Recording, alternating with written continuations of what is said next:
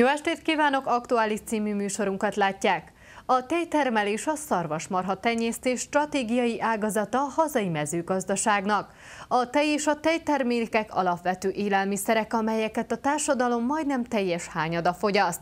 2010-hez képest a hazai szarvasmarha állomány csak nem 203 ezerrel nőtt. A magyar tarkafajta pedig szinte kihalófélben volt, aztán az állomány 2018-ra már közel 35 ezresre bővült.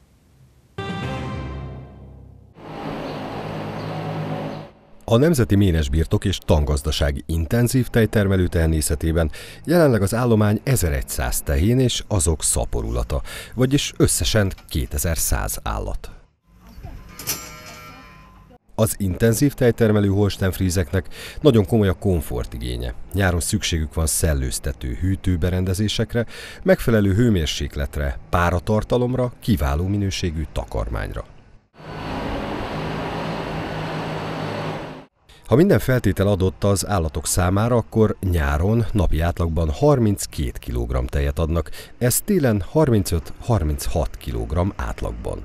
Ezek a frissen ellett teheneink, az ő tejük még nem alkalmas árutejnek, mert ők még az első fejésű kolostrum után, az a kolostrum az a borjú táplálására szolgál, és ez még árutejbe nem kerülhet az eléstől számított 3-4 napig.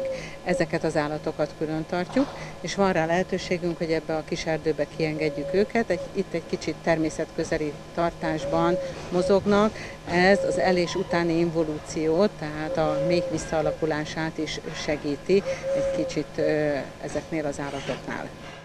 A fejű üzemben a reggeli óráktól egészen késő délutánig folyamatosan zajlik a munka. Mindennek pontosan, precízen kell történnie.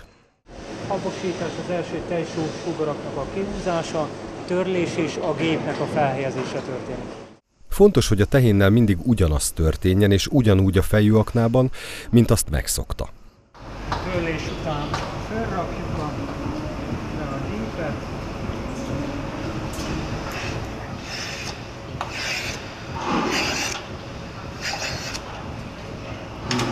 és így megyünk sorba.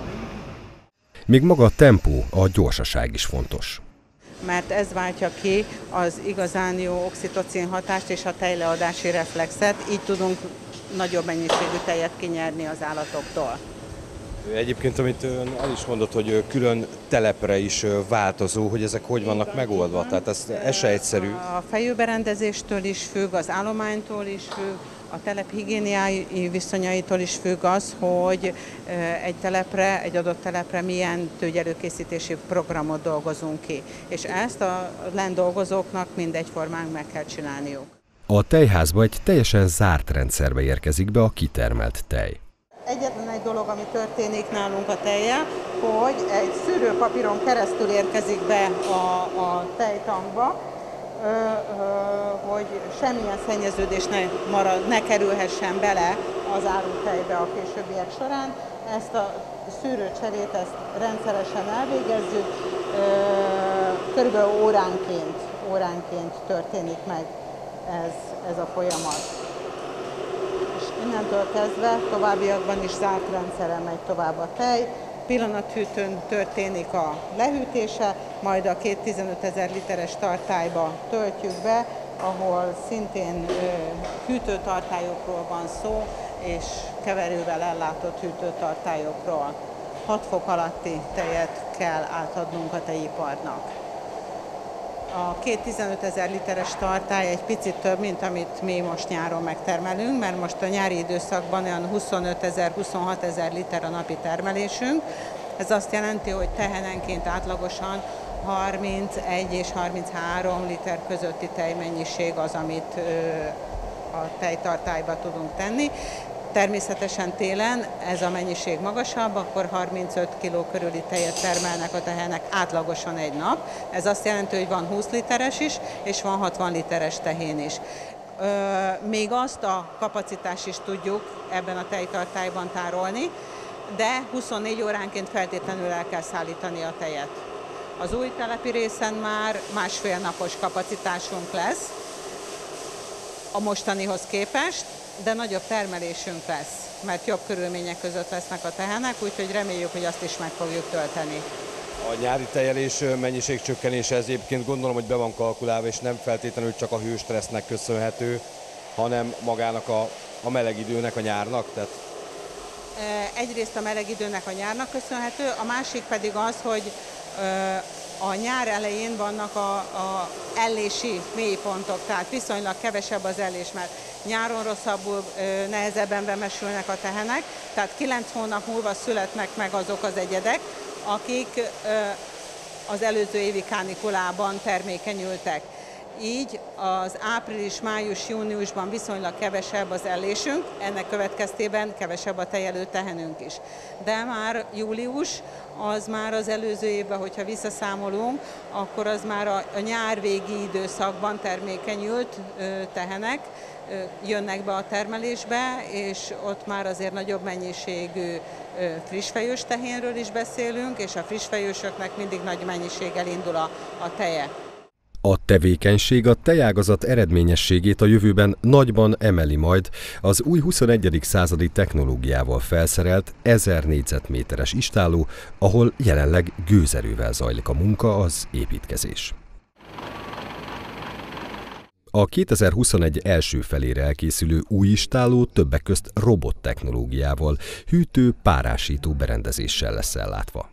Nagyon érdekes kérdés a, a fejési technológia. Eddig ugye azt mondjuk, hogy hagyományos módszerrel fejjük most napjainkban is a teheneket.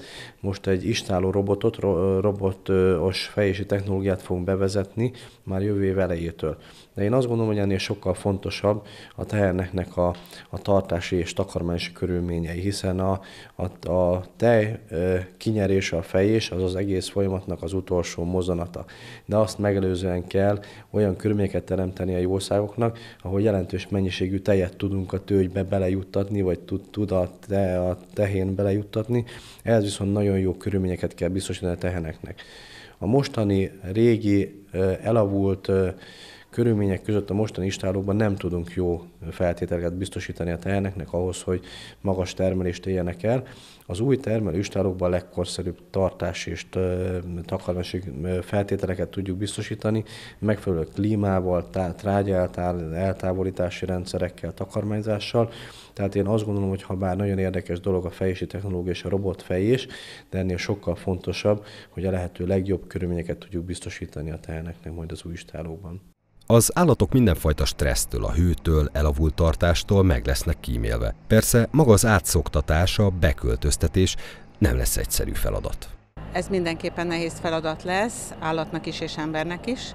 Az embereknek is, és az állatoknak is meg kell tanulniuk majd az új istálót, de a jót mindig könnyebb megtanulni és megszokni, mint az elavultat. Sokkal komfortosabb lesz ez az istáló, tehát mi azért építjük ezt az új istálót, hogy a teheneink igényét kiszolgáljuk, és akkor ők tejjel tudnak nekünk válaszolni erre.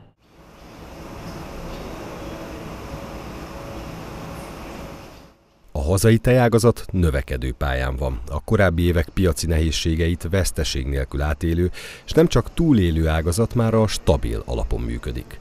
A tej és tejtermékek hazai fogyasztása növekszik, a feldolgozás hazai alapanyaggal történő ellátása biztosított, a nyers tej országos termelői átlagára pedig meghaladja kilogrammonkénti 99 forintot. Magyarországon 9 tenyésztő szervezet 12 húshasznú szarvasmarha fenntartását végzi. A fajták között Európa minden jelentős fajtája megtalálható. Az elismert fajtákon belül pedig a legtöbb állat a magyar tarkafajtába tartozik, ami kettős hasznosítású állat, hús és tej egyaránt. Elég szikes területeken vagyunk, és, és a sarolin amúgy is igazából egy hús marha, egy nagyon kevés tejjel rendelkező marha fajta, ami így a borjakra nem elég igazából a tej, és nekünk is van belőle itt néhány jó darab, és ilyenkor augusztus végén, főleg most, hogy elég aszályos évünk volt, így pótoljuk nekik már most éppen lucerna szénát adunk nekik, amiben egészen magas a fehérje tartalom, és próbáljuk, hogy a tej véget. Még ez a magyar torkánál egy sokkal a tűrőbb és több tejet képes, nyilván nem annyit, mint egy, egy Holstenfries, ő meg igazából nem hús. Úgyhogy azért mondjuk a, a magyar tarkál egy kettős hasznosítású, hogy tejre is tud, akár ö, régen mindenki otthon nem Holstenfritzet tartott, hanem inkább ö, magyar tarkákat, és ott megtalálták a tejet is, meg, ö, meg a borjút is tudta nevelni és azért, ami még nagyon fontos, a zsír tartalom a magyar tarkánál ott, ott egészen elég jól megtalálható. A Holstein Frizzel szembe akár 2%-kal is erősebb lett a zsírtartalma, ami mondjuk egy Holstein Frizznél 2,5, még a magyar tarkánál 4, 4,5 is lehet a zsírtartalom. 2010-hez képest a hazai szarvasmarha állomány csak nem 203 ezerrel nőtt. A magyar tarkafajta pedig szinte kihaló félben volt, aztán az állomány 2018-ra már közel 35 ezresre bővült. Jobbak a piaci feltételek, és kedvezőek a támogatások. Ez volt az aktuális honap, ugyanebben az időpontban jelentkezünk magazinunkkal. Köszönöm figyelmüket, viszontlátásra!